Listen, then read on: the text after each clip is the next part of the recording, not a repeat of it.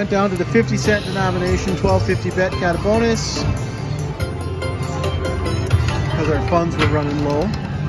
We got a bonus and we got the that one was awesome.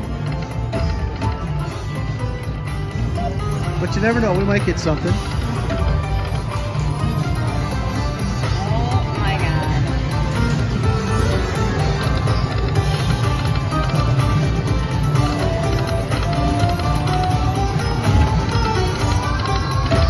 Nope, we didn't get nothing.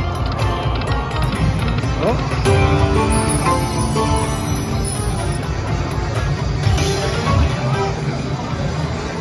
Well, you, you cut us some.